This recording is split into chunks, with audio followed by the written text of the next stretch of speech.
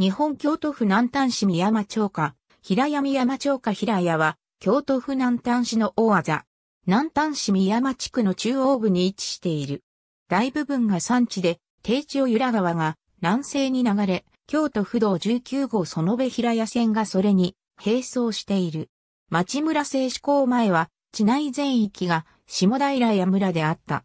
蓮女商人が京より北陸へ布教をする際、地内の街道を通り、村々を新言宗、日蓮宗島から改修させたと記録されている。西のり寺は新言宗より改修された。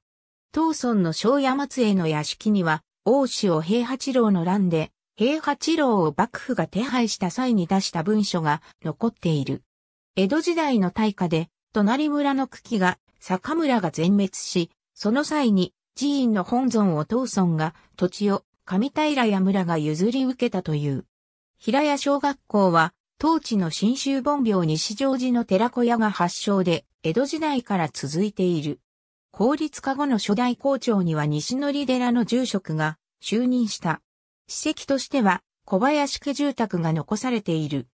この小林家住宅は引く1816年に建築された野々村33家村の王将屋として使用された家であり、1975年6月23日に国指定文化財として指定されている。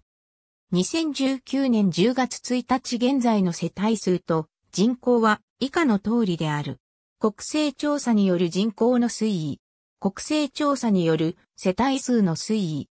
地内の道路は主要道路である京都府道19号園部平谷線と市道のみで国道や高速道路は通っていない。